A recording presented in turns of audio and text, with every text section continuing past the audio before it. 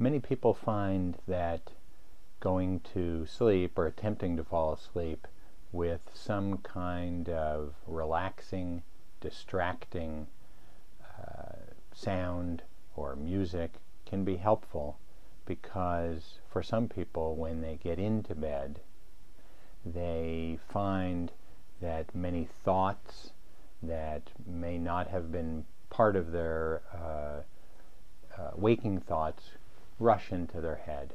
And a way to uh, keep those at bay is to use some kind of uh, repetitive, calm uh, music.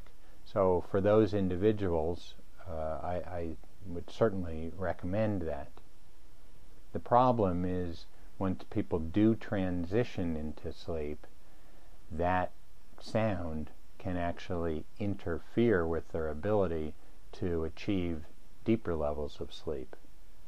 Uh, therefore, I generally recommend for those people who are going to be using some white noise or music to help fall asleep, to calm their mind, that it be on a timer such that uh, 15 minutes or so uh, after it begins that it will turn off.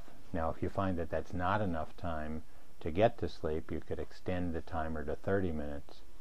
But this could account for people maintaining a light stage of sleep over the first uh, hour or more uh, of the sleep period.